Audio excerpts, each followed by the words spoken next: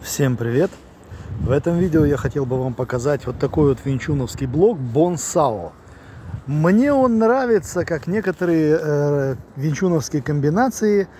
Конечно, не все там идеально выглядит, не все действительно вызывает должный интерес, э, как это представляют, допустим, э, вот эти вот тренеры винчун или эти гуру винчун.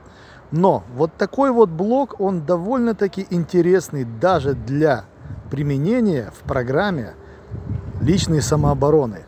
Когда вы умеете правильно руками блокировать вашего противника и проводить отличную контратаку, то тогда действительно такой блок будет работать в любом случае. Но, что, но чтобы отработать такой блок, вам просто-напросто необходимо тренироваться и работать над динамикой движений.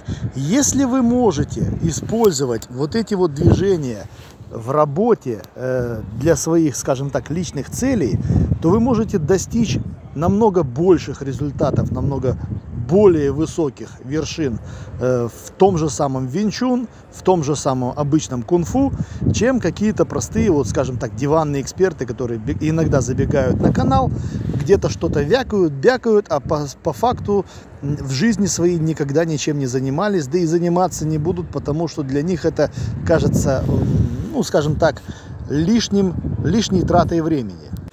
Обращаю ваше внимание на то, что когда производится, вернее, когда работается такой блок, нужно уметь вовремя перехватить руку противника и, по желанию, конечно, столкнуть его с линии атаки, как вот сейчас делает этот человек на экране.